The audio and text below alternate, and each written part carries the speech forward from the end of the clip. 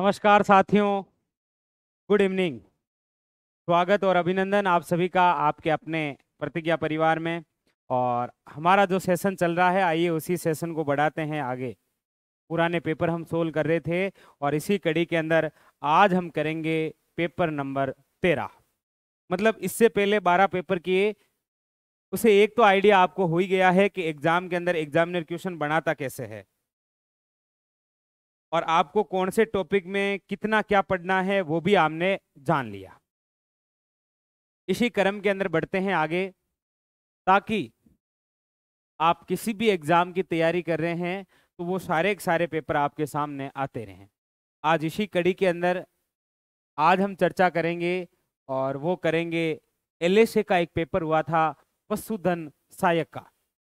आप में से बहुत सारे ऐसे स्टूडेंट हैं, जो एलएसए की भी तैयारी करते हैं। तो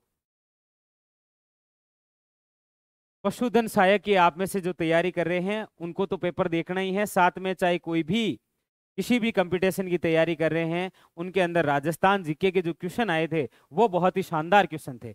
इसलिए मैंने सोचा कि वो लेकर आ रहे हैं। अच्छा आर एस पी हाँ बिल्कुल, डेट सारी आ गई है, बिल्कुल कहानता सही कह रहे हैं। डेट का तो मतलब ये मान के चलिए कि सरकार ने पता नहीं कौन सा नशा कर रखा है। बाकी सारे एग्ज़ाम सितंबर और अक्टूबर में करवा रहे हैं। और सितंबर के अंदर स्कूलें भी ओपन हो रही है। तो इसकी बजाय तो जो बच्चे हैं उनके छुट्टियाँ और रख देते दो महीने की, क्योंकि एग्ज़ाम कराने के लिए सेंटर तो चाहिए। तो दो महीने की साथ साथ और टेक देता कि भाई सितंबर और अक्टूबर में भी आपकी स्कूलें नहीं खुलेगी कॉलेजें क्योंकि एग्ज़ाम का दौर है तो एग्ज़ाम ही एग्ज़ाम होंगे।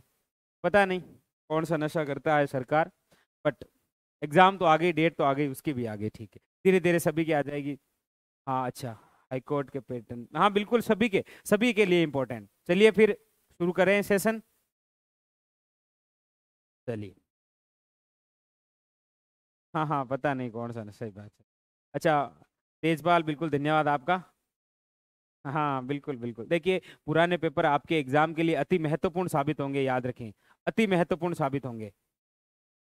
चलिए, शुरू करते हैं आज का ये अपना सेशन और आज है अपने पशुधन सहायक का पेपर। जैसे आप पढ़ते हैं, एल पशुधन सहायक। इसके अंदर राजस्थान जीके के 40 क्वेश्चन आते हैं और अच्छे क्वेश्चन थे, इसलिए मैंने सोचा ये भी कर लेते चलिए फिर शुरू करते हैं सेशन और शुरू करते हैं वहाँ से, जहाँ से अपना राजस्थान दिखता है। चलिए, टोटल 120 क्वेश्चन आते हैं इसमें, चालीस क्वेश्चन आपके राजस्थान जीके के आते हैं। देखिए, यहाँ से शुरुआत है एटी से। एटी से शुरुआत है राजस्थान जीके की, ये देखिए। लीजिए आपके सामने रहा क्वेश्चन नंबर फ़र्स्ट और राजस्थान जीके का पहला क्वेश्चन ये लीजिए। पूछा गया है, राजस्थान में संगठित किसान आंदोलन कहाँ से आरंभ हुआ था? अच्छा क्वेश्चन है, लैंग्वेज को पकड़ना है। क्वेश्चन पूछ रहा है, राजस्थान में संगठित किसान आंदोलन कहाँ से प्रारंभ हुआ था? बिजोलिया से, अलवर से, बेंगू से या फिर शिक्कर से? बताइए फटाफट। हाँ बिल्कुल रूप साना बिल्कुल बिल्कुल। गुड इवनिंग नमस्कार। बिल्कुल सभी का स्वागत है भाई। चलिए बताइए, राजस्थान में संगठित किसान आंदोलन कहाँ से शुरू हुआ था? बिल्कुल शाबा शाबा शाबा सत्यवीर रूप कंवर दीपक, संजू, बिल्कुल। अच्छा कांता गुजरा आर एस वाला करवा, चलिए, कोई नहीं नेक्स्ट टाइम वो करवा देंगे, कल आर एस का लेकर आएँगे, ठीक है? बिल्कुल शाबाश भाई सभी के। राजस्थान में संगठित जो किसान आंदोलन था, वो आपके कौन सा था? याद रखना बिजोलिया किसान आंदोलन। और अच्छी बात आप सभी जानते हैं चम्बालीस वर्षों तक चला था ये। इसीलिए इसे भारत का मैराथन किसान आंदोलन भी कहा जाता है। अठारह से शुरू हुआ था और जो 1941 तक चला था। और याद रखना ये तीन चरणों में हुआ था। पहले चरण के प्रमुख थे साधु सीताराम दास, दूसरे चरण के थे विजय सिंह पथिक, जिनका मूल नाम भूप सिंह गुज्जर हुआ करता था। और तीसरे के थे चार व्यक्ति जिसके अंदर जमनालाल बजाज हरिभा उपाध्याय, रामनारायण चौधरी और माणिक्यलाल वर्मा जैसे व्यक्तित्व आए थे। कौन सा? राजस्थान में संगठित किसान आंदोलन, बिजोलिया और आरएस के अंदर पूछा गया था, राजस्थान का वह किसान आंदोलन, जिसका आगाज़ तो उत्साहवर्धक हुआ था, लेकिन अंत बड़ा दर्दनाक हुआ था। याद रखेंगे कौन सा है? बिजोलिया। और बिजोलिया स्थान कहाँ पर होता है? तो याद रखना भीलवाड़ा के अंदर। वैसे पूछा जाए, ये कौन से पठार पर हुआ था? तो याद रखना ऊपर माल कौन से? ऊपर माल के पठार में। ये जो बिजोलिया है, इसका प्राचीन नाम हुआ करता था विंध्यावली। प्राचीन नाम क्या था? विंध्यावली। और बिजोलिया की स्थापना की थी अशोक परमार ने। किसने की थी? अशोक परमार ने। तो बहुत सारी बातें ये आप याद रखेंगे, ठीक है? चलिए, बात करते हैं अगले क्वेश्चन को लेकर। क्वेश्चन नंबर दो आपके सामने। अच्छा क्वेश्चन है इजी क्वेश्चन है। पूछा गया है वह स्थान जो अपने मृदा शिल्प टेराकोटा के लिए प्रसिद्ध है। अब तो क्या चाहिए?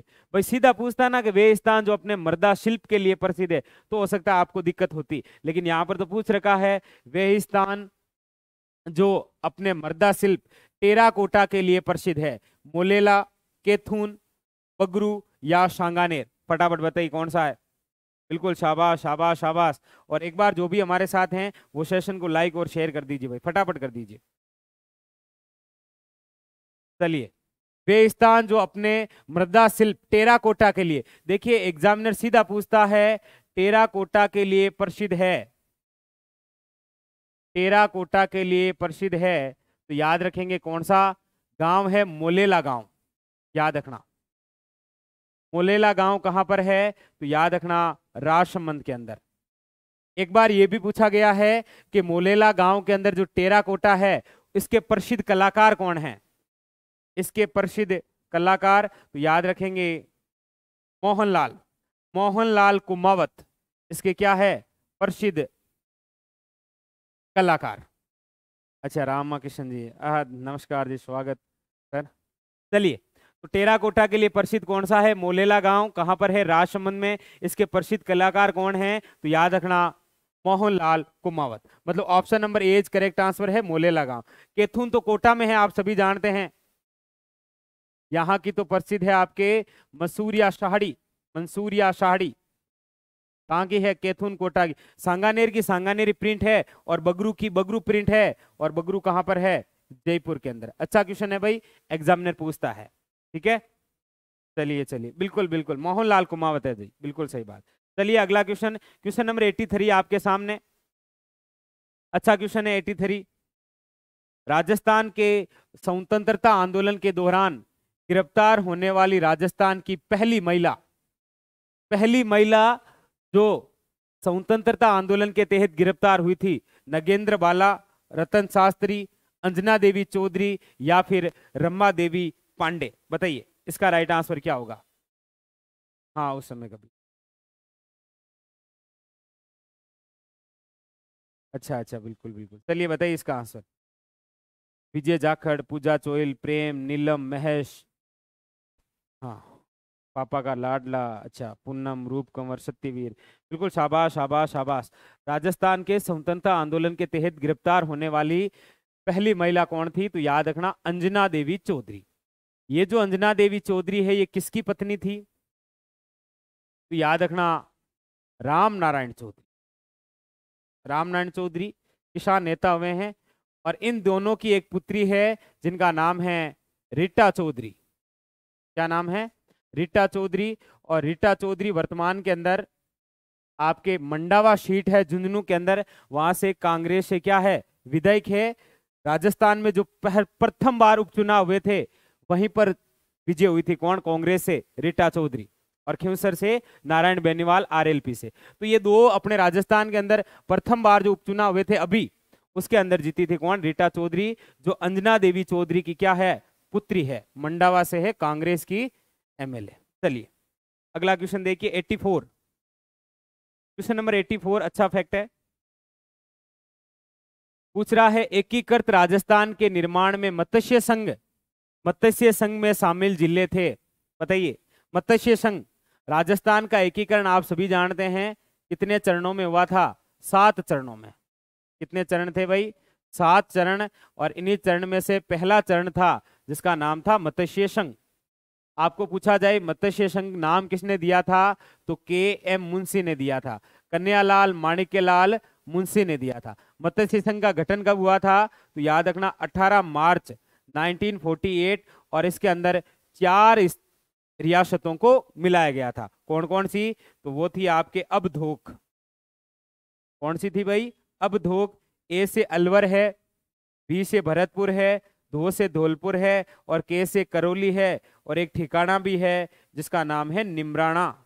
मतलब option number D is correct answer, अबधोक। ठीक है? एक ये ट्रिक है अबधोक और एक है सब सबधोक। देखिए, एक तो है अब धोक और एक है सब धोक सब धोक में है सवाई माधेपुर, भरतपुर, धौलपुर और करौली, जबकि ये तो भरतपुर संभाग है। याद रखना, कौन सा है भरतपुर संभाग, जो 4 जून 2005 के अंदर बना था वसुंधरा राज्य सरकार द्वारा। तो राजस्थान का नवीनतम संभाग भी पूछे तो भरतपुर संभाग है और राजस्थान का नवीनतम जिला भी पूछे तो प्रतापगढ़ है।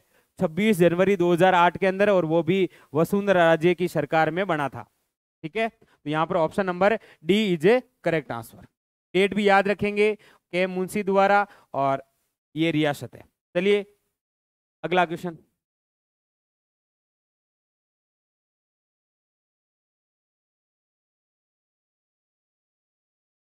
ले लीजिए 85 नंबर क्वेश्चन बताइए। क्वेश्चन नंबर 85 दिख तो रहा है ना, क्वेश्चन तो आराम से। एक बार थम्सअप करके बताइए, क्वेश्चन आराम से दिख रहा है, कोई दिक्कत नहीं है। राजस्थान में अठारह सौ सत्तावन की क्रांति के समय यहाँ के AGG agent to governor general कौन हुआ करते थे? कप्तान Blake, Henry Lawrence, George Patrick Lawrence और कप्तान हिशकोट। बहुत ही शानदार क्वेश्चन। बहुत ही शानदार क्वेश्चन। इसका आंसर बताइए, क्या होगा? अठारह की क्रांति के समय यहाँ पर एजेजी कौन था? बताइए। देखिए, भारत के अंदर तो हुआ करता था गवर्नर जनरल। और इस समय गवर्नर जनरल कौन था? तो आप सभी जानते हैं लॉर्ड कैनिंग। कौन था भाई? Lord Canning. इसी गवर्नर के अधीन हुआ करता था AGG agent to governor general. कौन हुआ करता था? Agent to governor general. और आपको पूछे, राज्य का first agent to governor general. तो याद रखना, इब्राहिम लोकेट, जिसे आप पढ़ते हैं, मिस्टर लोकेट के नाम से। हमें तो पूछा गया है, अठारह के समय कौन था? बताइए। शाबाश। देखिए, यहाँ पर हेनरी लोरेंस है यहाँ पर जॉर्ज पैट्रिक लोरेंस है। तो option number C is correct answer होगा। अठारह की क्रांति के समय याद रखना कौन है? Patrick Lawrence. और इससे जस्ट पहले कौन था? तो याद रखना, हेनरी लोरेंस और ये जो है अठारह सौ सत्तावन के समय एजेजी याद रखना, ये कारवाहिक है। परमानेंट नहीं था। कौन था ये? कारवाहिक जॉर्ज पैट्रिक लोरेंस। पूरा नाम याद रखेंगे। केवल लोरेंस से काम नहीं चलेगा।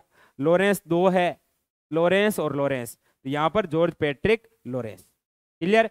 तो भारत के अंदर तो गवर्नर जनरल, उसके अधीन एजेजी और एजेजी के अधीन आप सभी जानते हैं पीए हुआ करते थे, पॉलिटिकल एजेंट।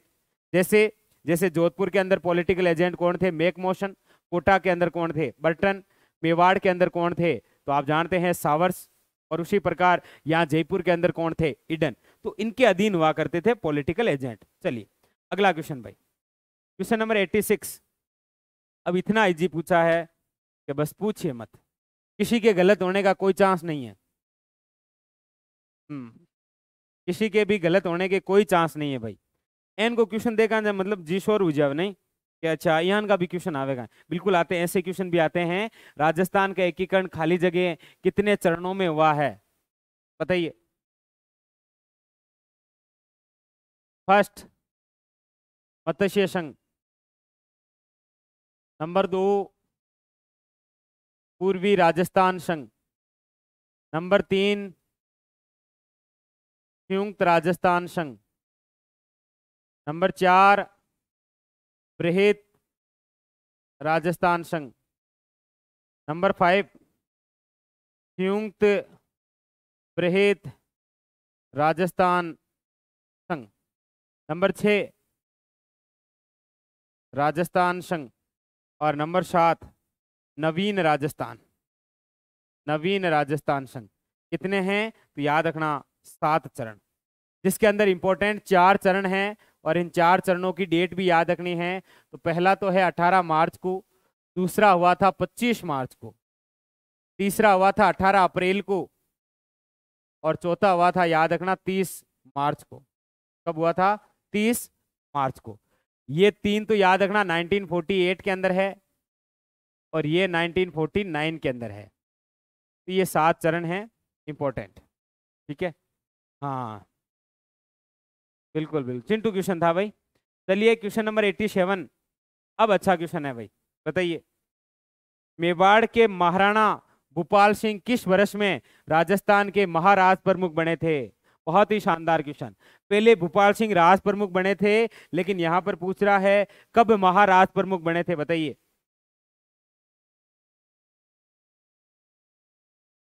हम्म चलिए। Question number eighty seven. बताइए। मेवाड़ के महाराणा भूपाल सिंह किस वर्ष में राजस्थान के महाराज प्रमुख बने थे? बताइए इसका आंसर क्या होगा?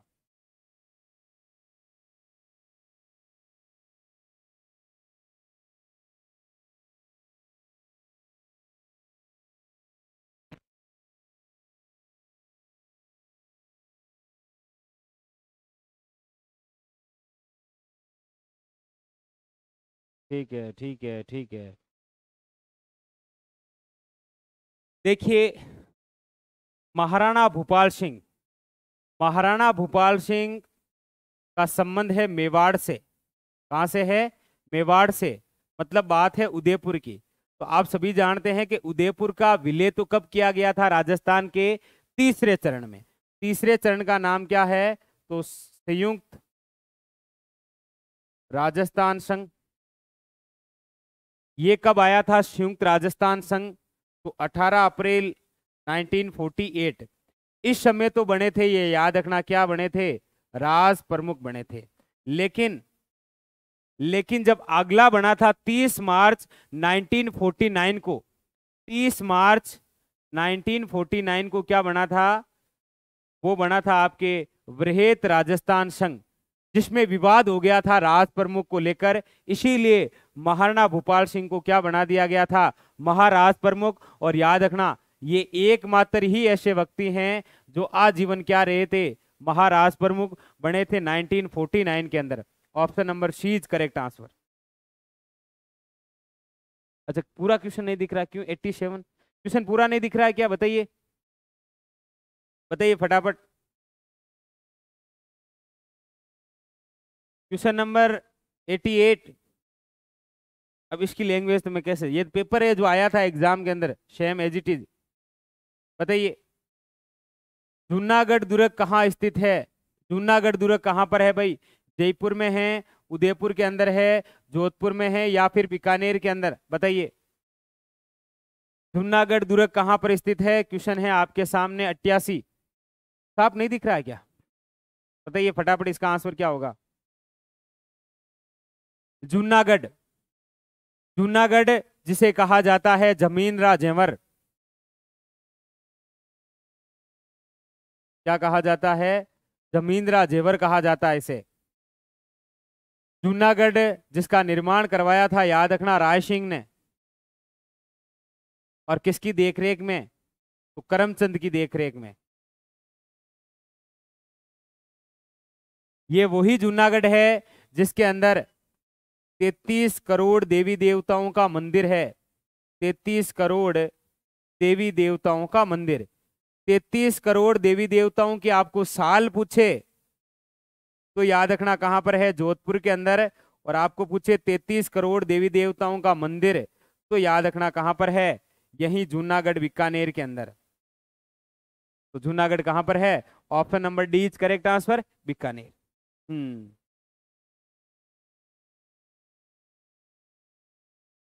हाँ जूनागढ़ वही। अच्छा था उतने में याद आ गया। चलिए, वो जूनागढ़ जमींद्रा जेवर निर्माण सिंह करमचंद की देखरेख में तैतीस करोड़ देवी देवताओं का मंदिर यहाँ पर है और साल पूछे तो कहाँ पर है, आप जानते हैं मंडोर जोधपुर के अंदर। बिल्कुल भाई, शाबाश। हाँ बिल्कुल। चलिए नेक्स्ट देखिए। Eighty nine. Eighty nine number question और अच्छा क्वेश्चन है भाई। पूछा गया है अजरक प्रिंट का संबंध कहाँ से है? बालोत्रा से है, बगरू से है, पाली से है या फिर बाड़मेर से है? बताइए भाई। अजरक प्रिंट का संबंध कहाँ से है? बालोत्रा से, पाली से, बगरू से या बाड़मेर से?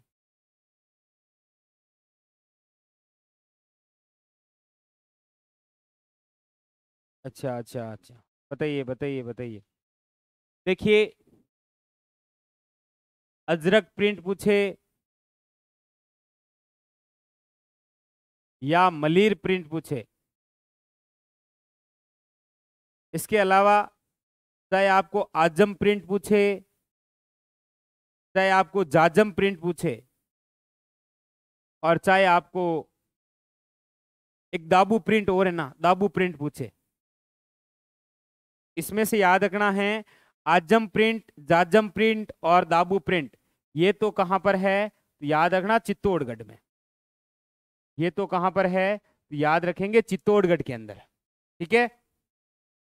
और अजरक और मलिर प्रिंट, ये दोनों ही कहाँ पर है? तो याद रखना बाड़मेर में। कहाँ पर है? बाड़मेर के अंदर। तो यहाँ पर option number D is a correct answer. Option number D is a correct answer. लेकिन लेकिन एग्जामिनर ने एक क्वेश्चन डिलीट कर दिया। मतलब इस क्वेश्चन को डिलीट माना गया। एलएसए के एग्ज़ाम का ये पेपर है। मनीराम प्रजापति बिल्कुल जी, नमस्कार। क्यों? क्योंकि ऑप्शन के अंदर बालोत्रा और बाड़मेर थे। इसीलिए क्वेश्चन को क्या कर दिया? डिलीट कभी कभी तो लगता है एग्जामिनर चालीस क्वेश्चन देता है राजस्थान जी के वो भी सही ढंग से नहीं दे पाता। है यहाँ पर पाली लिखा, बाड़मेर लिखा, यहाँ पर जोधपुरी दे देता। भाई क्वेश्चन गलत तो नहीं होता ना। अब आप में से बहुत सारे ऐसे हैं जो पढ़ते ही खुश हुए थे कि अच्छा चलो आता, आता है। लेकिन आगे चलकर हुआ क्या? डिलीट तो इसका राइट आंसर बाड़मेर है। ठीक है? कोई दिक्कत नहीं बिल्कुल। और बाकी ये आज़म जाजम और दाबू प्रिंट याद रखेंगे चित्तौड़ में है। चलिए next question question number ninety बताइए। पूछा गया है नौ लखा दरवाज़ा। नौ लखा दरवाज़ा निम्नलिखित में से राजस्थान के किस किले का एक भाग है? बताइए। देखिए, वैसे ये नाम तो नवलखा है। नवलखा दरवाज़ा। एक और याद रखेंगे भाई नवलखा भंडार। एक नवलखा किला। घना एक और लिखूं नवलखा झील।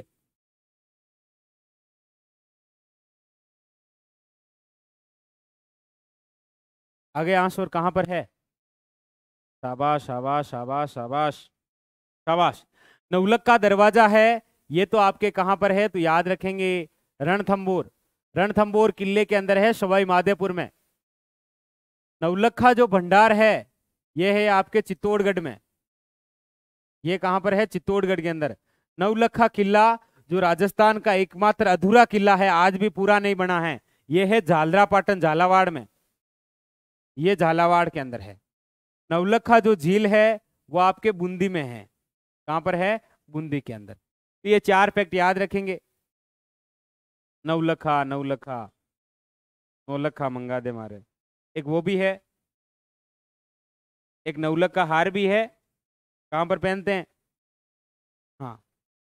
ऑफलाइन क्लास हो रही अब होगी। अब सरकार का मतलब हुक्म आयो है। पग मंडिया है सरकार का। चलिए। नौलखा, दरवाज़ा रणथंबोर नवलखा भंडार, चित्तौड़गढ़। ये पूछे गए हैं भाई नवलखा किला भी झालरा पाटन झालावाड़ में है और नवलखा झील बूंदी में है। चलिए अगला क्वेश्चन। क्वेश्चन नंबर 91 पूछा गया है धानवन दुर्ग। खाली जगह के बीच स्थित होता है। कल क्वेश्चन था कौन सा? कल क्वेश्चन था, एक एग्ज़ाम्पल पूछा गया था कि निम्न में से धानवन दुर्ग है। धानवन का मतलब होता है ऐसा दुर्ग जो मरुस्थल में हो। मरुस्थल का मतलब रेगिस्तान में हो। और इसका सबसे अच्छा एग्ज़ाम्पल है, वो है आपके कौन सा? सोनार किला। और सोनार किला आप सभी जानते हैं कहाँ पर है? जैसलमेर के अंदर। ठीक है? तो ऐसे ही याद रखना है, एक और फैक्ट याद रखना, बड़ा इंपॉर्टेंट है, याद रख लेना। ओदक। औदक दुर्ग। का सबसे प्रसिद्ध एग्ज़ाम्पल है। ये क्वेश्चन पूछा गया है तो याद रखना औदक दुर्ग का मतलब होता है वह दुर्ग जिसके चारों ओर जल हो। वो कौन सा दुर्ग कहलाता है? ओदक दुर्ग और ओदक दुर्ग का प्रसिद्ध एग्ज़ाम्पल है गागरोन का किला। क्योंकि गागरोन किला आहू और काली सिंध के संगम पर है। एक याद रखना है पारिध्य। पारिदुर्ग का मतलब क्या होता है? जिसके चारों ओर परिधि मतलब परकोटा हो, वो पारिदुर्ग में है। एक है पारिख, जिसके चारों ओर क्या हो? खाई हो। इसका बेस्ट एग्ज़ाम्पल है आपके सामने लोहागढ़ भरतपुर वाला, जहाँ पर जिसके अंदर सुजान गंगा नहर बहती है। तो वो याद रखेंगे धानवंत का मतलब है रेगिस्तान। इसका मतलब क्या है? बिल्कुल शाबाश। चलिए अगला question question number 92 question number 92 Haldighati का युद्ध किस वर्ष में लड़ा गया है? अब जब भी पढ़ाते हैं तो स्टूडेंट पूछता है, सर, कब हुआ है? 18 जून लिखूं या 21 जून? बेटी का बाप, ना तो 18 पूछे, ना 21 पूछे। सीधा कहीं पूछे, सन पूछे। और इसी तरीके से हमेशा कौन कौन से युद्ध याद रखेंगे? तो एक तो याद रखेंगे खानवा का युद्ध। 17 मार्च 1527 में हुआ था। ये भी सन से पूछता है सीधा सीधा, इसके अलावा हल्दी घाटी तो है ही। हल्दी घाटी तो प्रसिद्ध है, पंद्रह के अंदर। एक इसी प्रकार गिरी सुमेल का युद्ध भी याद रखेंगे। ये भी पंद्रह के अंदर। पूछता है कई बार, इसके अलावा तराइन के दोनों युद्ध याद रखेंगे। फ़र्स्ट ग्यारह सौ इक्यानवे के अंदर और सेकेंड ग्यारह सौ बानवे। मतलब इनमें से क्वेश्चन आता है, और ये तो आप जानते ही हैं, पंद्रह सौ छिहत्तर। हल्दी घाटी एक दर्रा है, जिसको छलांग मार दी थी चेतक ने। पढ़ा होगा आपने कभी इतिहास में? चलिए बिल्कुल, ये दर्रे के अंदर लड़ा गया, युद्ध है। चलिए अगला question ninety three question number ninety three पूछा गया है, निम्नलिखित में से किस विद्वान के अनुसार राजपूतों की उत्पत्ति अग्निकुंड से हुई है। बताइए, निम्नलिखित में से किस विद्वान के अनुसार राजपूतों की उत्पत्ति अग्निकुंड से हुई है? श्री गौरीशंकर ओझा, डॉक्टर गोपीनाथ शर्मा, कवि चंद बरदई या डॉक्टर दशरथ शर्मा? बताइए इसका आंसर क्या होगा? देखिए, अग्निकुंड। एक गुरु थे जिनका नाम था गुरु वशिष्ठ। अब कहते हैं कि गुरु वशिष्ठ ने आबू पर्वत पर, कहाँ पर? आबू पर्वत पर एक अग्निकुंड यज्ञ किया था। और इसी अग्निकुंड से चार वीर राजपूत जातियाँ निकली थी, जिसमें प्रतिहार, परमार, चालुक्य और चौहान। कर्म से याद रखना है। और ये जानकारी सारी सारी हमें देता है। कौन सी पुस्तक? याद रखना। पृथ्वीराज राशो के बारे में। पृथ्वीराज रासो के अंदर ये सारी सारी जानकारी है और पृथ्वीराज रासो के जो लेखक हैं, उनका नाम है चंद बरदाई चंद बरदाई आप सभी जानते हैं चंद बरदाई पृथ्वीराज तरते हैं। उनके अच्छे सखा हुआ करते थे, मित्र हुआ करते थे, दोस्त हुआ करते थे, जिनके बारे में कहा जाता है कि चंद्र बरदाई और पृथ्वीराज तरते हैं। इनका जन्म भी एक ही दिन हुआ था और इनकी मृत्यु भी दोनों की एक ही दिन हुई थी। ये है वही।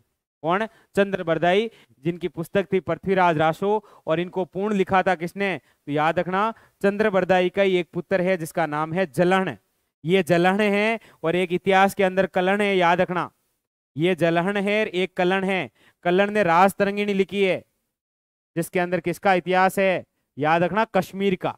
और इसको पूरा किया था जलन ने। तो यहाँ पर option number C correct answer है। चलिए, बिल्कुल शाबाश शाबाश। शी शी, भाई। सभी के बहुत ही शानदार सी राइट है। चलिए साथ, अगला question. Question number ninety four. अच्छा क्वेश्चन है, बताइए फटाफट। राजस्थान के संदर्भ में पीला पोमचा है। पोमचा तीन है। पोमचा कितना है? पोमचा तीन है। कौन कौन से? एक तो पीला है, एक गुलाबी है और एक है नीड का पोमचा। आपने सुना हो कभी नीड का पोमचा। पोमचा तीन ही प्रसिद्ध है। पोमचो से जब क्वेश्चन आएगा तो इसी प्रकार से आएगा। पिल्ला पोमचा, पहले बताओ ये है क्या? लोकगीत है, लोक नृत्य है, पेंटिंग है या कपड़ा है? फटाफट बताइए। अरे शाबाश। प्रेम, रूप, कंवर, प्रभु, गरिमा, हनुमान, कालूराम कालूराम मेघवंशी, पूजा, रितेश, मुकेश, अंजू, शाबाश शाबाश। बिल्कुल। पोमचा क्या है? याद रखना, कपड़ा है। पीला पोमचा होता है, गुलाबी पोमचा होता है और नीड का पोमचा होता है। पीला पोमचा जो होता है, याद रखना ये प्रतीक माना जाता है वंश की वृद्धि का। इसीलिए जब पुत्र जन्म लेता है ना, तब कौन सा पोमचा ओढ़ती है महिलाएँ? तो याद रखना पीला पोमचा। और जब घर के अंदर लक्ष्मी आती है, यानी कि जब पुत्री जन्म लेती है, तब कौन सा पोमचा ओढ़ा जाता है? तो याद रखना गुलाबी पोमचा।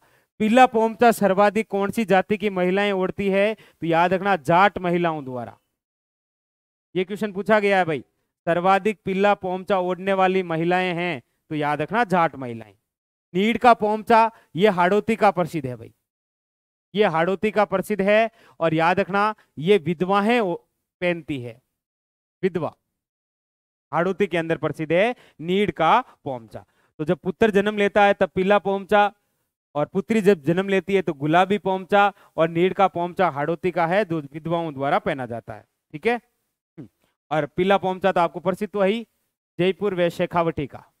जयपुर वे शेखावटी का। तो option number C is a correct answer. चलिए, अगला question. Question number ninety five. Question number ninety five अच्छा क्वेश्चन है। वालर नृत्य किस जाति का लोक नृत्य है? वालर नृत्य बताइए। वालर वालर नृत्य देखिए, सबसे पहले तो वालर नृत्य प्रसिद्ध कहाँ का है? तो याद रखना शिरोई का। और इसकी एक विशेषता है वालर नृत्य वे नृत्य है जो बिना वाद्य यंत्र के किया जाता है। अच्छा क्वेश्चन ये भी बनता है। बिना वाद्य यंत्र के किया जाने वाला नृत्य है वालर नृत्य। और इसी वालर नृत्य को कहा गया है, ग्रासियों की घुमर पढ़ा रखा है भाई आपको। ग्रासियों की क्या कहा गया है? घुमर तीन चीज़ें बड़ी प्रसिद्ध है। तो ग्रासियों की घुमर है तो किससे संबंध है? याद रखना ग्रासियों से। अच्छा क्वेश्चन है एग्ज़ाम के लिए और यहाँ से तीन प्रकार के इंपॉर्टेंट फैक्ट हैं। वालर नृत्य कहाँ का प्रसिद्ध है? शिरोई का। वालर नृत्य बिना वाद्य यंत्र के होता है, ये भी इंपॉर्टेंट फैक्ट है। और अगला है, ग्रासियों की घुमर किस नृत्य को कहते हैं? तो याद रखना वालर नृत्य ये हाथ के अंदर तलवार छाता या इस प्रकार से लेकर जो नृत्य किया जाता है, वही कौन सा है? वालर नृत्य। अच्छा क्वेश्चन है भाई। चलिए अगला क्वेश्चन। क्वेश्चन अच्छे आए थे इस पेपर में? ये लीजिए 96 नंबर क्वेश्चन आपके सामने। पूछा गया है, निम्न में से कौन सा आभूषण कान पर पहना जाता है? कान पर पहना जाने वाला है टिक्का, टोटी कुल्ली या रिमजोड़ कान पर लैंग्वेज को पकड़ना है, कान पर पहना जाता है। बताइए।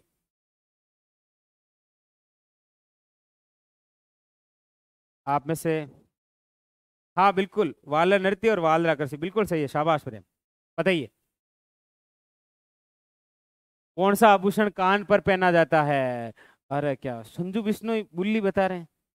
अरे, कम से कम मैंने सोचा मेरी छोटी बड़ी बहन ने जो भी हमारे साथ हैं, वो तो सही बताएगी बताएगी। बताइए, कान पर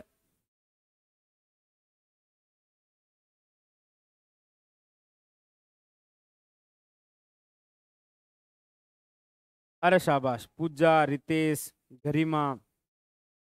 अच्छा हितेश हम्म संजू भाटी।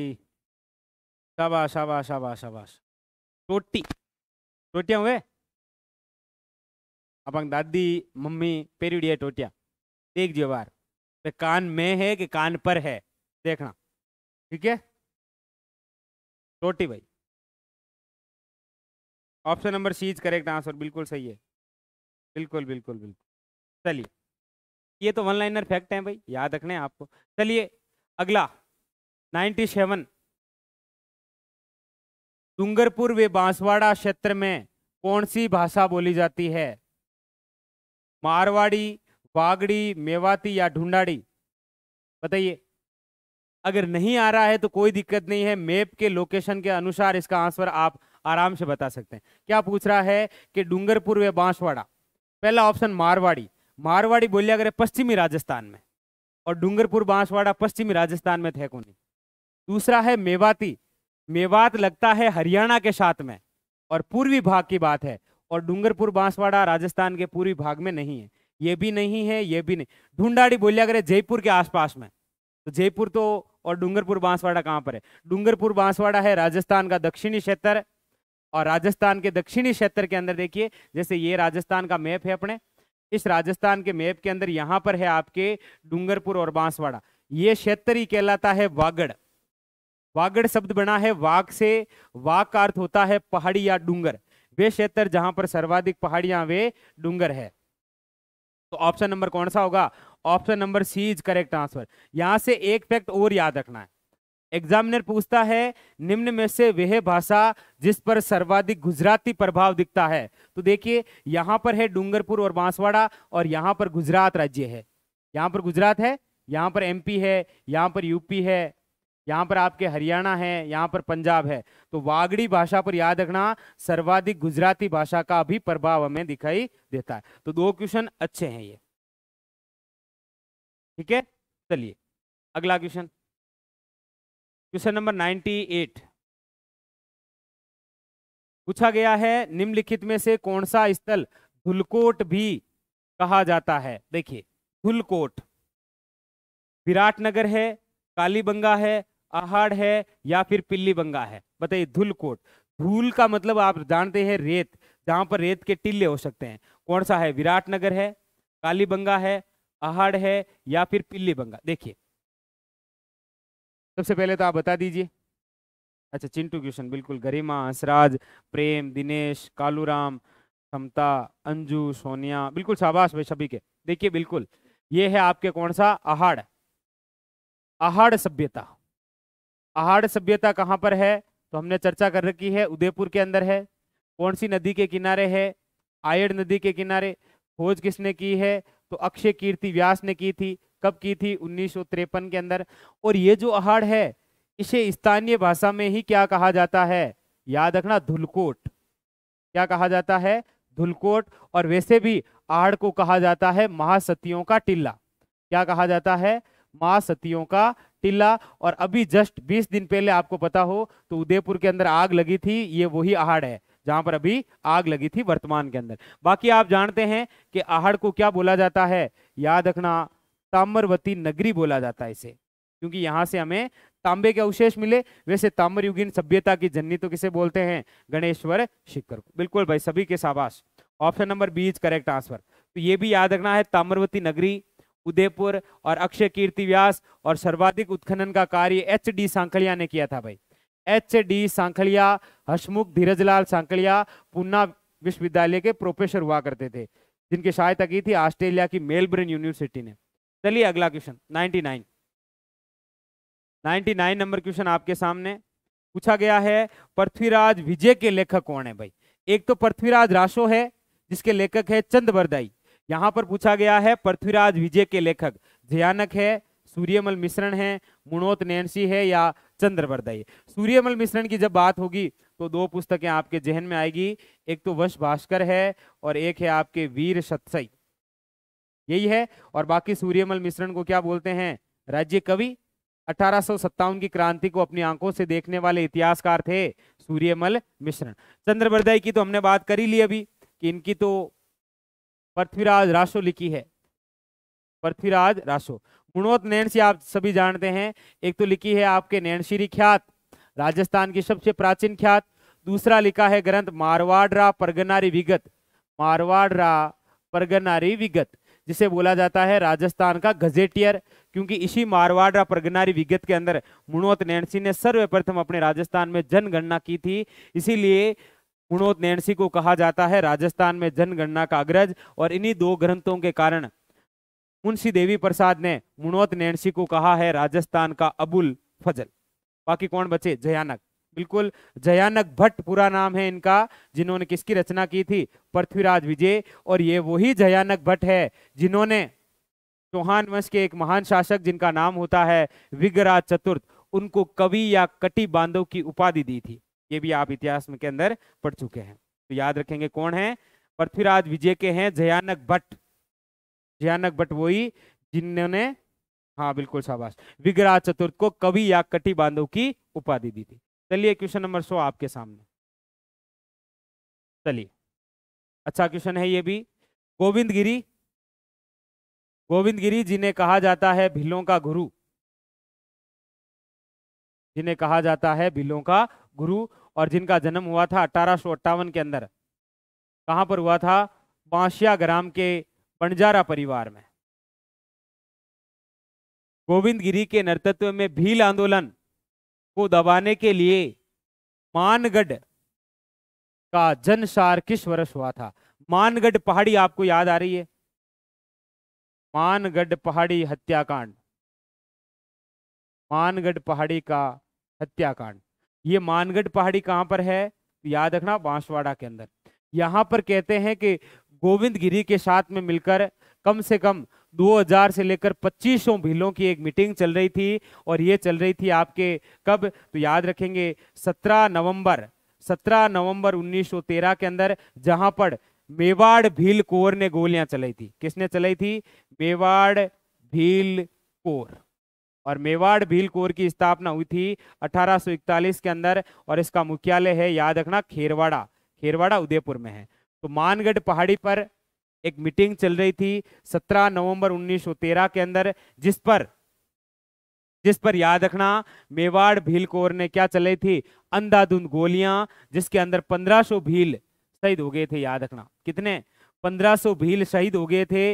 इसीलिए मानगढ़ पहाड़ी का जो हत्याकांड है, यही कहलाता है आपके राजस्थान का जलियावाला बाग हत्याकांड।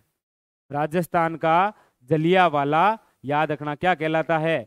बाघ हत्याकांड। हाँ अब आप ये ज़रूर कहेंगे कि सर जलियावाला बाघ हत्याकांड तो 1919 में हुआ था तो फिर इसे कैसे संख्या है? तो याद रखेंगे, इसे ही कहा जाता है अपने राजस्थान का जलियावाला बाघ हत्याकांड घटना है साथियों 17 नवंबर 1913 क्लियर बिल्कुल भाई, सभी के शाबाश।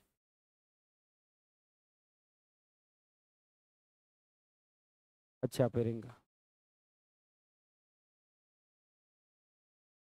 अच्छा अच्छा बिल्कुल, अरे, कर देंगे। अपने साथ में अच्छे स्टूडेंट, प्यारे स्टूडेंट हैं, लाइक और शेयर तो आप कर ही देंगे। चलिए साथियों, इस पेपर में क्वेश्चन अच्छे आए थे, एलएसए का पेपर है ये पशुधन सहायक। का पेपर कोई भी हो, अपने तो पुराने पेपर सोल्व कर रहे हैं, जिसमें राजस्थान जीके की क्वेश्चन आते हैं। चलिए, क्वेश्चन नंबर 101 आपके सामने ये रहा। क्वेश्चन नंबर 101 अच्छा क्वेश्चन है, आराम से पढ़ना और उसके बाद में आंसर देना। और बहुत इजी भी है।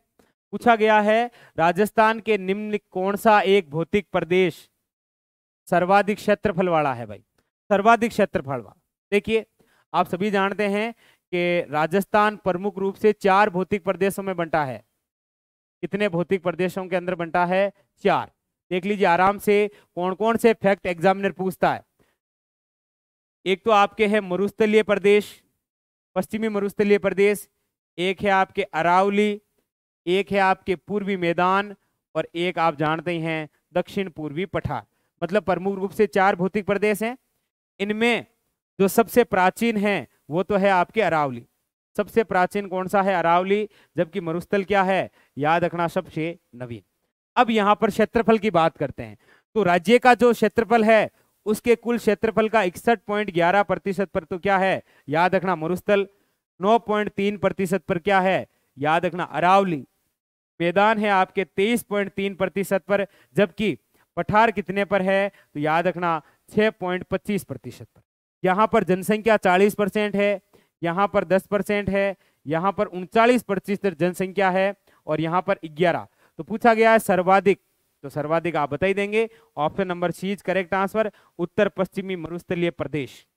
और साथ में प्राचीन और नवीन याद रखना, आप में से जो पुलिस और वन रक्षक वनपाल देंगे ना, हंड्रेड परसेंट पूछता है ये कि सबसे नवीन कौन सा और सबसे प्राचीन कौन सा है। यहाँ से रिलेटेड कोई ना कोई फैक्ट आपको वो ज़रूर पूछता है। चलिए, बिल्कुल शाबाश भाई सभी के, बिल्कुल शाबाश। और मरुस्थल, अरावली, मैदान और पठार, बिल्कुल भाई सभी मरुस्थल के अंदर प्रमुख रूप से बारह ज़िले हैं। अरावली में प्रमुख सात ज़िले हैं। मैदान के अंदर भी आप दस ज़िले हैं और पठार में प्रमुख रूप से चार ज़िले हैं। आप सभी जानते हैं। यहाँ पर जो मिट्टी है, वो आपके रेतीली या बलोई मिट्टी पाई जाती है। यहाँ पर अरावली के अंदर पर्वतीय मिट्टी है। यहाँ मैदान के अंदर जलोड मिट्टी है, जबकि पठार के अंदर काली मिट्टी है, जो कपास के लिए उपयोगी है। बातें आप जानते हैं। चलिए, क्वेश्चन नंबर 102 क्वेश्चन नंबर 102 पूछ रहा है, उड़िया पठार। उड़िया पठार कहाँ पर है? देखिए, उड़िया पठार। उडिया पठार की ऊंचाई है 1360 मीटर। कितनी है साथी? 1360 मीटर। राज्य का सर्वोच्च पठार है ये। राज्य का सबसे ऊँचा पठार है ये। सर्वोच्च पठार जिसकी ऊंचाई है 1360 मीटर और ये कहाँ पर है? तो याद रखना शिरोई के अंदर। इसके अलावा भी कुछ याद रखना है। जैसे आपको याद रखना है मेषा का पठार। मेषा का पठार जिसका आकार टोपी नुमा है, ये कहाँ पर है? चित्तौड़गढ़ के अंदर। ये कहाँ पर है? चित्तौड़गढ़ के अंदर। इसके अलावा आपको याद रखना है, वो याद रखना है लसाड़िया का पठार। लसाड़िया का पठार राज्य का सबसे उबड़ खाबड़ पठार है। ये है आपके उदयपुर के अंदर। कहाँ पर है? उदयपुर के अंदर। वेरी इंपॉर्टेंट ये भी आप याद रखेंगे। इसके अलावा उपरमाल का पठार, भोराट का पठार, भूमट का पठार, उसको लेकर हमने चर्चा कई बार कर रखी है। ठीक है? तो option number, C is correct answer. Clear है? चलिए, बात करते हैं अगले क्वेश्चन को लेकर। क्वेश्चन नंबर 103 आपके सामने। थ्योरटिकल क्वेश्चन आते हैं। देख लीजिए थोर्टिकल क्वेश्चन बनते हैं आपके कहाँ कहाँ से? तो एक तो भौतिक प्रदेश से बनते हैं। एक वन से बनते हैं। एक आपके जलवायु से बनते हैं। एक कृषि से और एक खनिज। मतलब यहाँ से हमेशा थ्योरटिकल क्वेश्चन पूछता है। जैसे देखिए ये, कोई फैक्ट नहीं पूछता है। पूछा गया है, निम्न में से कौन सा राजस्थान की जलवायु को प्रभावित करने वाला आधारभूत तत्व है? वैसे है तो सभी। राजस्थान की जलवायु को प्रभावित करने वाले कारक तो ये सभी हैं। समुद्र से दूरी हो, समुद्र तल से ऊंचाई हो, तापमान, वनस्पति। लेकिन आधारभूत कि, उसके आधार के बिना हम राजस्थान की जलवायु नहीं निकाल सकते। वैसे राजस्थान की जलवायु तो आप सभी जानते होंगे कौन सी है? उपोषण कटिबंधीय है उपोषण कटिबंधीय जलवायु। और भाई राजस्थान जियोग्राफी का सबसे और सबसे अच्छा और सबसे इजी टॉपिक है राजस्थान की जलवायु। आप सभी ने पढ़ रखा होगा। बताइए बताइए। ना डिलीट क्यों हुआ? डिलीट नहीं हुआ था। आधारभूत है वो है तापमान। राजस्थान की जलवायु को प्रभावित करने वाला आधार है, वो तापमान है। याद रखना, कौन सा है? तापमान।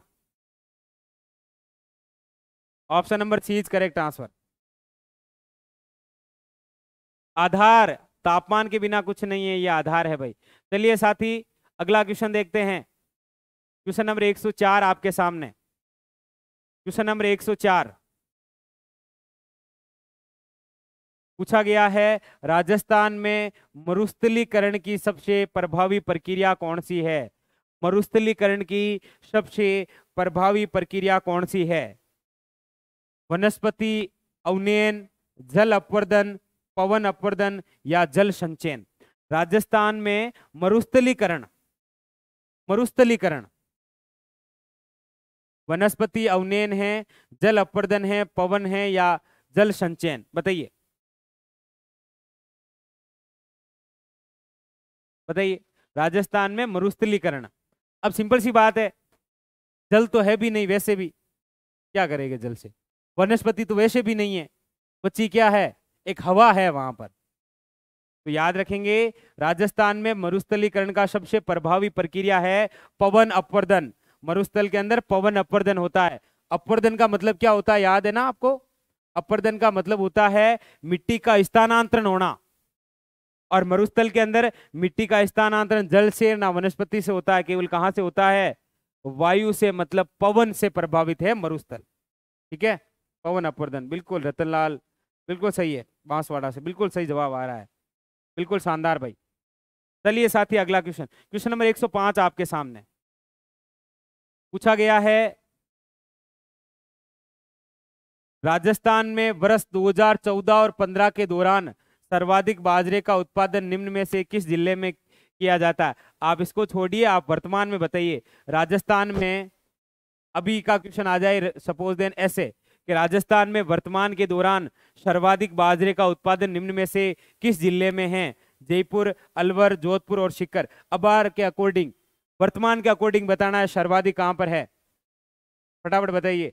और एक बार जो भी है, देखिए सेशन को लाइक और शेयर भी नहीं कर रहे आप। करिए भाई, फटाफट। सेशन को लाइक और शेयर करना भी ना भूलें।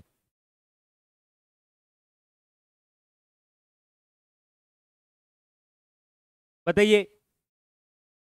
शाबाश शाबाश शाबाश। बाजरा से एक तो बाजरा अनुसंधान केंद्र याद रखेंगे। वैसे आप सभी जानते हैं, बाजरा अनुसंधान केंद्र बाड़मेर में है। कहाँ पर है? बाड़मेर में। और बाजरा सर्वाधिक तो याद रखना, अलवर में है इस बार। अलवर और जयपुर। दूसरे नंबर पर जयपुर है। फ़र्स्ट पर कौन है? Alwar. Option number C is correct answer. ठीक है? और वैसे भी पूछे कि भारत में बाजरा की दृष्टि से आपा बाजरा में आपा, रायडा में मतलब सॉरी सरसों में आपा। बिल्कुल बिल्कुल। और एक जोधपुर के अंदर भी है भाई, बिल्कुल सही है। चलिए, अगला question question number 106 question number 106 निम्नलिखित में से कौन सी भेड़, देखिए, हम तेरह नंबर पेपर सोल्व कर रहे हैं और हमेशा भेड़ से क्वेश्चन आ रहा है। तो भेड़ को तो बस मतलब छोड़ना ही नहीं है। भेड़ को पकड़ लेना है। भेड़ की प्रजाति भारतीय मेरिनो के नाम से जानी जाती है। ऐसी कौन सी भेड़ की नस्ल है जिसे भारत की मेरिनो कहा जाता है? मगरा सोनाड़ी चोकला या फिर पुंगल? सिंपल क्वेश्चन है, कई बार हमने डिस्कशन कर रखा है भाई। फटाफट बताइए। भारतीय मेरीनो, मगरा कहाँ जा रहे हैं आप? भारतीय मेरीनो के नाम से किसे जाना गया है भाई? फटाफट बताइए। और एक वो प्रसिद्ध क्वेश्चन तो बार बार रिपीट हो ही रहा है। कौन सा? भेड़ प्रजनन वे ऊन अनुसंधान केंद्र। अब तो ये याद हो गया होगा आपको। हो गया तो कमेंट करिए फटाफट कहाँ पर है ये? भेड़ प्रजनन वे ऊन अनुसंधान केंद्र कहाँ पर है भाई? बाकी बिल्कुल सभी के राइट है। बिल्कुल बिल्कुल चोकला चोकला चोकला बिल्कुल सही है भाई। चोकला भेड़ है इसे कहा गया है भारत की मे, मेरिनो। बाकी जो सोनाड़ी है इसे चन्नोथर कहा जाता है। क्योंकि जब ये चढ़ती है ना तो इसके जो कान है वो छू जाते हैं। ऐसे कुछ बातें हैं यहाँ पर। अरे बिल्कुल, भेड़ प्रजनन वे ऊन अनुसंधान केंद्र कहाँ पर? बिल्कुल, शाबाश शाबाश शाबाश। बिल्कुल, अभी का नगर टोंक है भाई। बिल्कुल, सभी के राइट है। अभी का नगर टोंक। चलिए, क्वेश्चन नंबर 107 क्वेश्चन नंबर 107 है। निम्नलिखित में से प्रतापगढ़ ज़िले में कौन सी बहुउद्देशीय परियोजना स्थित है? प्रतापगढ़ में। जमई परियोजना, जाखम परियोजना, माही बजा सागर या बिशलपुर अब प्रतापगढ़ की बात है तो आप सभी जानते हैं कि प्रतापगढ़ के अंदर तो एक ही नदी है, वो है जाखम नदी। प्रतापगढ़ में एक ही नदी बहती है, नाम क्या है? जाखम नदी। जाखम नदी का जो उद्गम है, वो होता है कहाँ से? तो याद रखेंगे, भंवर माता की पहाड़ियाँ। भंवर माता की पहाड़ियाँ। और ये जो भंवर माता की पहाड़ियाँ हैं, ये आपके कहाँ पर है? तो याद रखना जाखमिया। और जाखमिया कहाँ पर है? तो वैसे भी याद रखना प्रतापगढ़ में। ठीक है? इसी जाखम नदी पर एक बाँध बना हुआ है। नाम क्या है? जाखम बाँध। और जाखम बाँध की विशेषता राज्य का सबसे ऊँचा बाँध है ये। सबसे ऊँचा बाँध। 81 मीटर है ये। कहाँ पर है? प्रतापगढ़ में। जाखम नदी की दो सहायक नदियाँ हैं। एक तो करमई और दूसरी है शर्मई। ये दो इसकी क्या है? सहायक नदियाँ। इसी नदी पर एक परियोजना बनी हुई है, जिसका नाम क्या है? याद रखना, जाखम परियोजना। जिसका प्रयोग पेयजल, सिंचाई सभी में होता है। Option number B is correct answer है ये तो। हम्म। चलिए चलिए, बिल्कुल शाबाश शाबाश भाई, सभी के राइट है। चलिए अच्छा फैक्ट था। चलिए, बात करते हैं अगले क्वेश्चन को लेकर। थोड़े से क्वेश्चन और बचे हैं, बारह क्वेश्चन और बचे हैं। देखिए। लीजिए क्वेश्चन नंबर 108 क्वेश्चन नंबर 108 आपके सामने। पूछा गया है, मोरिजा बानोला खनन क्षेत्र किसके लिए प्रसिद्ध है? मोरिजा बानोला, देखिए। मोरिजा बानोला। डाबला शिंगाना। नीमला रायशेला। नीमला रायशेला, नाथरा की पाल। नाथरा की पाल खुरहुंडेर खुरहुंडेर ये सारे सारे किसके लिए हैं? बिल्कुल भाई, शाबाश शाबाश शाबाश, बिल्कुल भाई। सभी के बिल्कुल शाबाश। ये सारे सारे स्थान लोहा एक से संबंधित है और अपने यहाँ पर कौन सा लोहा होता है राजस्थान में? हेमेटाइट। खनिज, बहुत इजी टॉपिक मोरिजा बानोला कहाँ पर है? तो याद रखना जयपुर में। डाबला शिंगाना कहाँ पर है? तो याद रखना, झुंझुनू के अंदर, नीमला रायसेला कहाँ पर है? दोशा में, नाथरा की पाल और थुर उंडेर कहाँ पर है? तो याद रखना, उदयपुर के अंदर। ये सारे के सारे लोहे अयस के क्षेत्र हैं। ऐसे पूछे जाते हैं क्वेश्चन, हमेशा पूछा गया है। डाबला शिंगाना, मोरिजा बानोला, नीमला रायशेला नाथरा की पाल वेथुर हुंडेर ठीक है? याद रखना, लोहे का सर्वाधिक उत्पादन मोरिजा बानोला से होता है। पूछा जाए सर्वाधिक भंडार तो नाथरा की पाल वेथुर हुंडेर। सर्वाधिक भंडार यहाँ पर हैं और उत्पादन मोरिजा बानोला से होता है। ठीक है?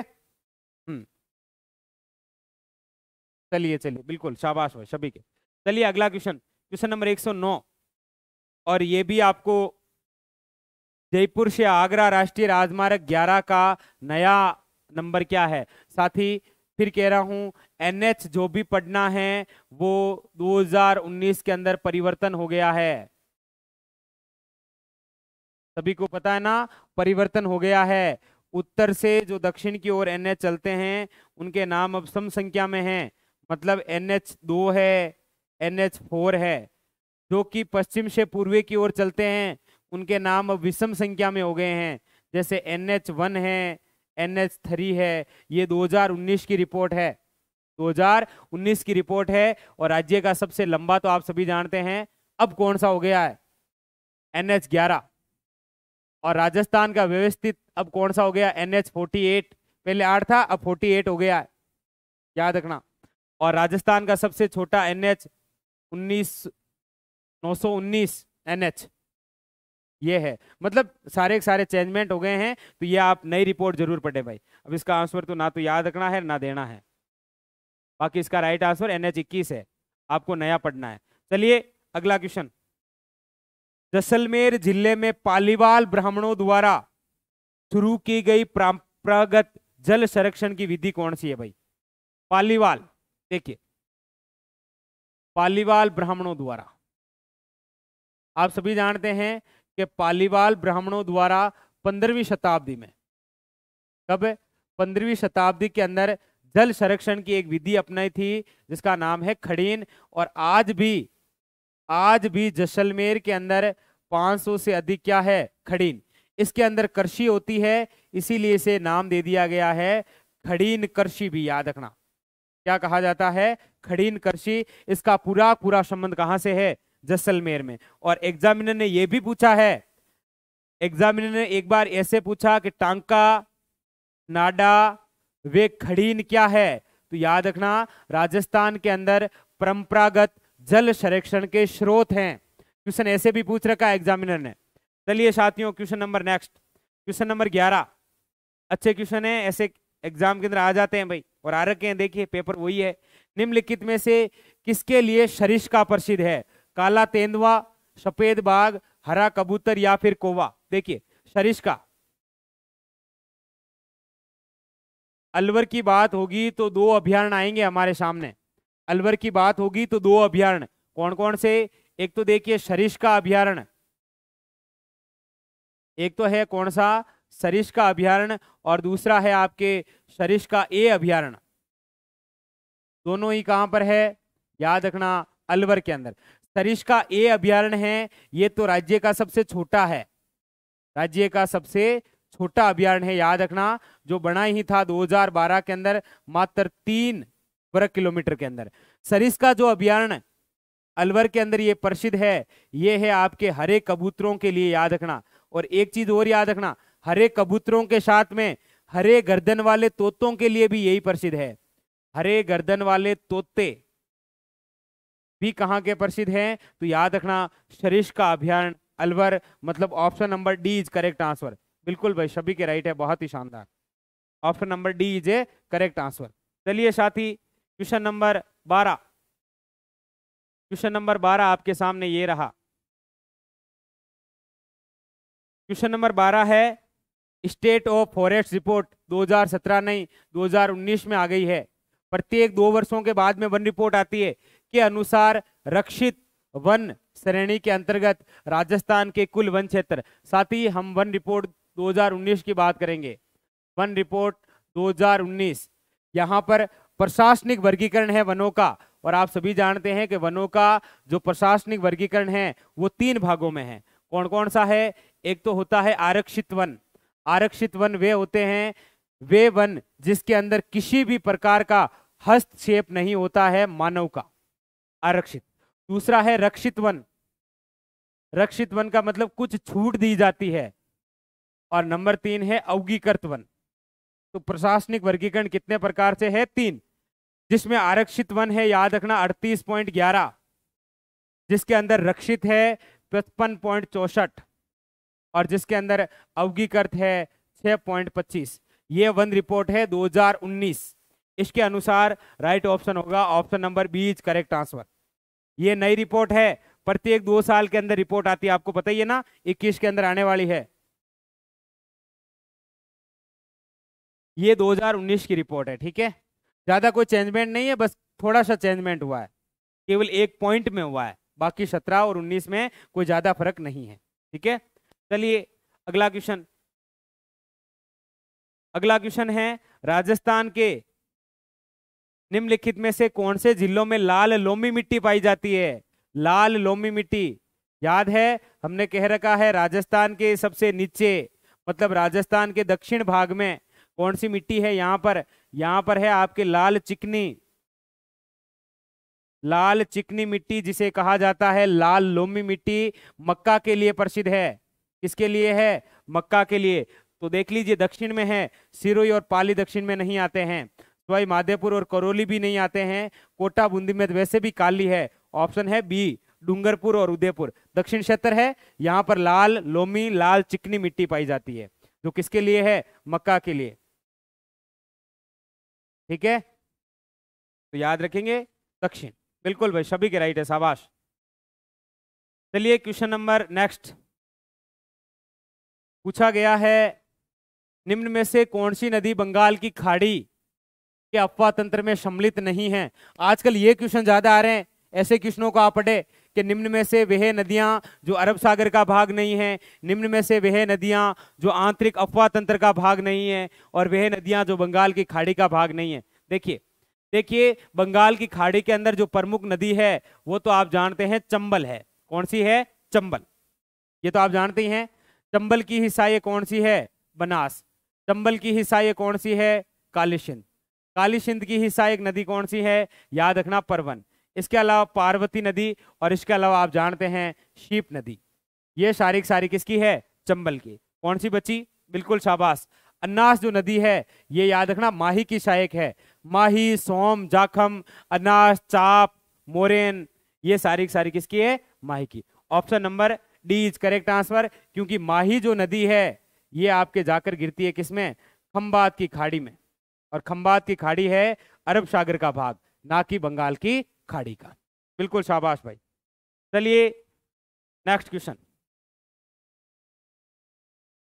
क्वेश्चन नंबर 115 और अपना पंद्रवा क्वेश्चन क्या पूछ रहा है? पंद्रह नंबर क्वेश्चन आपके सामने है और पूछ रहा है, राजस्थान राज्य की सीमा, राजस्थान राज्य की सीमा को स्पर्श करने वाले भारतीय राज्यों की संख्या कितनी है? मतलब राजस्थान के साथ में कितने राज्य सीमा लगाते हैं भाई, ये पूछ रहा है। पंजाब, हरियाणा यूपी एमपी और गुजरात।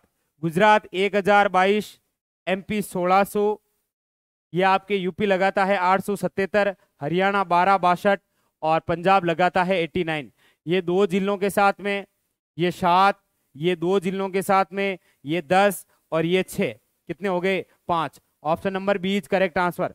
बिल्कुल भाई, शाबाश। चलिए, क्वेश्चन नंबर 116 क्वेश्चन नंबर 16 आराम से पढ़िए। पूछ रहा है, यहाँ पर ज़िले हैं और यहाँ पर शीशा जस्ता की खाने हैं। उदयपुर के अंदर राजपुर दरीबा है, भीलवाड़ा के अंदर रामपुर अगुचा है, सवाई माधेपुर के अंदर चौथ का बरवड़ा है, बीकानेर के अंदर जामसर है। यहाँ पर ये लिखना ही नहीं था। यहाँ पर जिला और यहाँ पर केवल क्षेत्र लिखना था। अब सीसा जस्ता कहाँ है? जामसर में। जामसर में जिप्सम है। मतलब एग्जामिनर पेपर के अंदर ढंग से चालीस क्वेश्चन नहीं बना सकता। हम्म?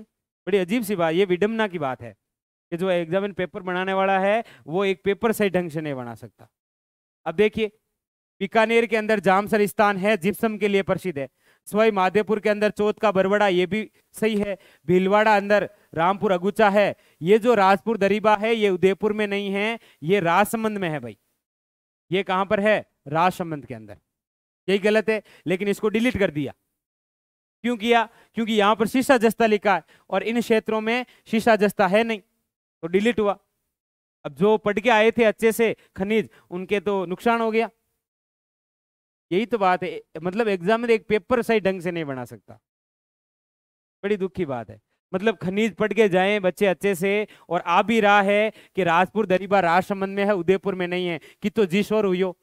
लेकिन फिर रिज़ल्ट आए तो पता चला कि इसको तो डिलीट कर दिया। चलिए next question question number 117 question number 117 पूछा गया है, निम्नलिखित में से कौन सी झीलें सिंचाई के काम में ली जाती है। सिंचाई के अंदर काम आती है। पिछोला और आना सागर कोलायत और पुष्कर जय संबंध और राजसंबंध, पंचभद्रा या शिल्ली शेठ झील। बताइए। हाँ। अच्छा पेपर सेंटर के लिए। हाँ हाँ सही बात है।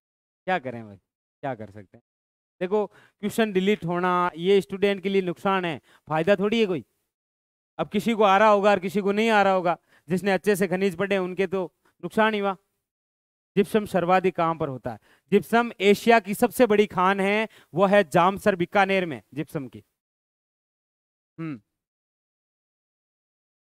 अब इसका राइट आंसर क्या होगा भाई? बिल्कुल शाबाश शाबाश, शाबाशी। जय संबंध और राज संबंध जय संबंध कहाँ पर है? उदयपुर के अंदर है। कहाँ पर है? उदयपुर के अंदर। निर्माण जयसिंह ने करवाया। राजसमंद झील कहाँ पर है? राजसमंद के अंदर, जिसका निर्माण राज सिंह ने करवाया। जानते हैं आप? जयसंबंध और राजसमंद झील, ये दोनों दोनों से क्या होती है? सिंचाई, याद रखना। ये जो जयसंबंध है, ये आप सभी जानते हैं, राजस्थान की सबसे बड़े मीठे पानी की झील है। और जयसंबंध झील, टापू है यहाँ पर सात टापू। बाबा का भांगड़ा और प्यारी नामक टापू, जबकि राजसमंद झील की पाल पर, बिना पत्ती के सती घेवर माता का मंदिर बना है। अच्छी तरीके से हमने चर्चा कर रखी है भाई। ठीक है? चलिए, अगला क्वेश्चन अगला क्या? आप तो तीन क्वेश्चन और बचे हैं।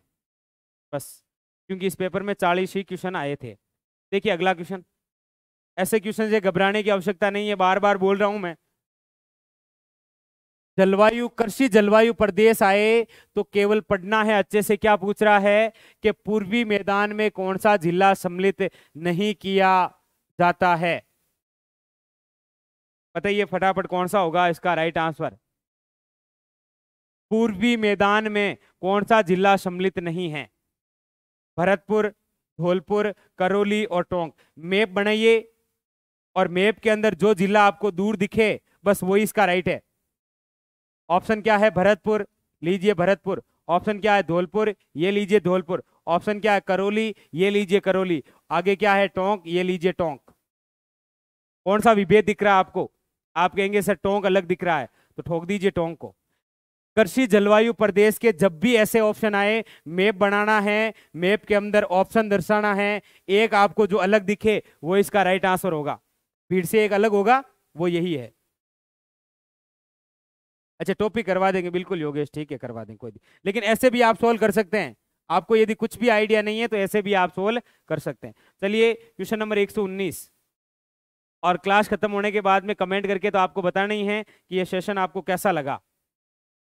इंडिया इको डेवलपमेंट कार्यक्रम 1986 टू 87 के अंदर चलाया गया था। ठीक है। कौन से राष्ट्रीय उद्यान या वन्य जीव अभियान के अंदर क्रियान्वित किया गया था भाई। फटाफट बताइए इसका आंसर क्या होगा? इंडिया इको डेवलपमेंट कार्यक्रम 1986 टू 87 विश्व बैंक के सहयोग से था ये। केवला देवी राष्ट्रीय उद्यान रणथंबू राष्ट्रीय उद्यान, कुंभलगढ़ वन्य जीव अभियान या सरिस्का वन्य जीव अभियान फटाफट बताइए इसका आंसर क्या होगा? बिल्कुल शाबाश। इसका जो राइट आंसर होगा, वो होगा साथियों option number B is correct answer Ranthambore राष्ट्रीय उद्यान के अंदर इंडिया इको डेवलपमेंट कार्यक्रम 1986 टू 87 चला था। रणथंबोर राजस्थान का फ़र्स्ट नेशनल पार्क है, याद रखना। राजस्थान का प्रथम और राजस्थान की फ़र्स्ट बाघ परियोजना भी यहीं पर शुरू हुई थी 1973 के अंदर। रणथंबो राष्ट्रीय उद्यान। अच्छा क्वेश्चन आज के अपने सेशन का अंतिम क्वेश्चन और एलएसए के पेपर के अंदर आने वाला ये भी अंतिम क्वेश्चन चलिए अच्छा क्वेश्चन है। शुष्क सांगवान वन। राजस्थान के निम्नलिखित में से किस ज़िले में है? सागवान वन की जब बात आएगी ना तो तीन क्वेश्चन पूछता है एग्जामिनर कौन कौन से? याद कर लीजिए। एक तो पूछता है कौन से क्षेत्र में है? एक पूछता है कौन से ज़िले में है? और एक पूछता है, ये सागवान वन कौन से अभ्यारण में है? तीन क्वेश्चन है और तीनों ही रामबाण क्वेश्चन है। सागवान वन कौन से क्षेत्र में? तो याद रखना दक्षिण में। अब इनमें से दक्षिण से कौन सा जिला है? गंगानगर, बीकानेर, कोटा या बांसवाड़ा? तो आप कहेंगे, सर, बांसवाड़ा। लिख लीजिए, बांसवाड़ा। बांसवाड़ा के अंदर और आसपास कौन सा अभ्यारण है? तो आप कहेंगे, सर, प्रतापगढ़ और चित्तौड़गढ़ के अंदर है, वो है सीता माता अभ्यारण और ये तीनों ही क्वेश्चन पूछ रखे हैं। अच्छे क्वेश्चन हैं, स्टार लगा लीजिए, एग्ज़ाम के अंदर पूछ रखा है। सागवान वन के लिए इंपॉर्टेंट क्षेत्र तो दक्षिण है, जिला पूछे तो बांसवाड़ा है, और अभियान पूछे तो कौन सा है साथी? याद रखना सीता माता अभियान। क्लास खत्म होने के बाद में कमेंट करके ज़रूर बताइए कि ये जो सेशन था पेपर का, ये आपको कैसा लगा? ये वैसे पशुधन सहायक का पेपर था, जिसके अंदर राजस्थान जीके के 40 क्वेश्चन थे। हम पेपर वही कर रहे हैं जो पुराने हो रखे हैं। ताकि आपने यदि पूरी थ्योरी पढ़ रखी है तो उसके बाद में आपको ये आइडिया रहे कि मुझे सर्वाधिक किस टॉपिक पर फोकस करना है। क्योंकि यही हमें यहीं से सीखने को मिलेगा कि राजस्थान जिक्का जो राजस्थान जिक्के के अंदर आपके इतिहास है, जियोग्राफी है और कला संस्कृति है। इनमें से सबसे ज़्यादा क्वेश्चन आप सभी समझ गए होंगे। तेरह पेपर है ये। सर्वाधिक जियोग्राफी से आ रहे हैं। सर्वाधिक कहाँ से जियोग्राफी से। इतिहास से बहुत कम क्वेश्चन आ रहे हैं, बाकी कला संस्कृति से तो आ ही रहे हैं, कोई दिक्कत नहीं है। चलिए, फिर आज का सेशन यहीं रोकते हैं। आशा करता हूँ ये सेशन आपको अच्छा लगा है। कल फिर मिलेंगे किसी नए, पुराने पेपर के साथ में। तब तक के लिए हँसते रहिए, मुस्कुराते हुए रहिए, लेकिन लक्ष्य की प्राप्ति तक रुकिए मत। धन्यवाद, राम राम साहब।